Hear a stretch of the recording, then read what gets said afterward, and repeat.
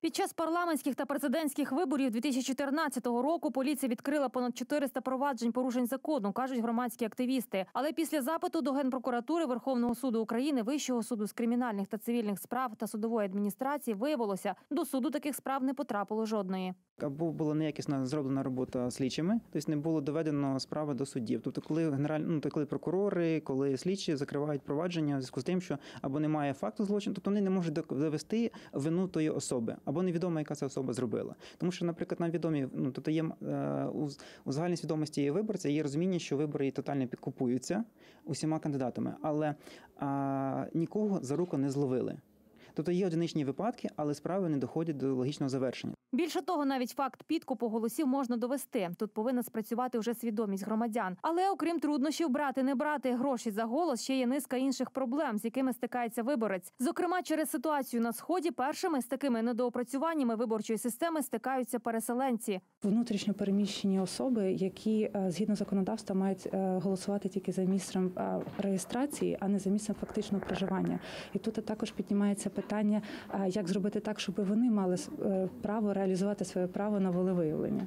Не менш вагому роль відіграє грамотні члені виборчої комісії. Олександр Волосянський з понад десятирічним стажем спостерігача бачив різні порушення на дільницях. Здебільшого у день виборів такі випадки трапляються найчастіше. Це може бути таке, навіть як. Е- Каруселі, знаєте, тобто, що виборець заходить з бюлетенем, наперед йому видають, на якому проставлена галочка за певного кандидата. На останніх даже місцевих виборах було навіть встановлення рішенням суду при підрахунку. Не туди там пару сотень бюлетенів записали, тобто відібрали голоси від партії, яка не проходила, і е, приписали ці голоси тим партіям, які потрібні, щоб проходити, в результаті чого один мандат в Ужгородську міську раду від однієї з партій перекочував до однієї з провладних. Звісно, суд таку самодіяльність скасував, але для цього продовжує Олександр Волосянський. Обов'язково факти порушення законодавства на виборах потрібно фіксувати і звертатися з ними до правоохоронців. Є великі шанси, що порушники все ж притягнуть до відповідальності.